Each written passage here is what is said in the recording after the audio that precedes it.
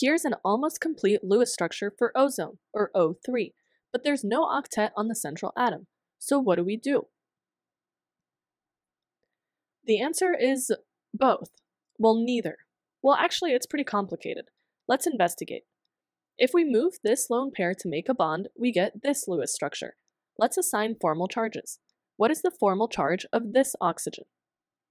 This oxygen has a formal charge of zero since there are six electrons in a neutral oxygen and six electrons in our lasso. So what about the formal charge for this oxygen? There are seven electrons in this lasso, so the formal charge of this oxygen is minus one. Lastly, what about the formal charge for the central oxygen? There are only five electrons in this lasso, so this oxygen has a formal charge of plus one. That's a lot of formal charges, so let's double check our work. Does each oxygen in this molecule have a full octet? Even though we have assigned formal charges to some of the atoms in this molecule, each atom has a full octet.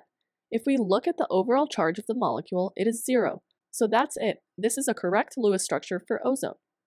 But what would have happened if we had moved the lone pair on the right-hand side of the molecule instead? We get this molecule. This is also a correct Lewis structure for ozone. So which one is it? The answer is that it's both and neither. The actual ozone molecule's electron cloud doesn't look like either of these molecules, but it kind of looks like the average of the two. So we draw a double-headed arrow between these two different Lewis structures to show that these are two forms representing the same molecule. These are two resonance forms for the ozone molecule.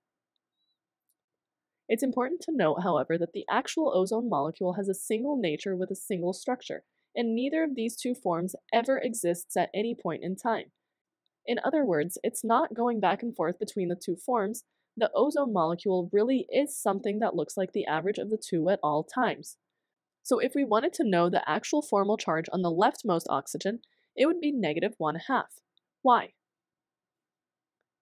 That's right, the complex nature of ozone means that at all times there is extra electron density in that part of the molecule, one half of an electron's worth of extra density, to be specific.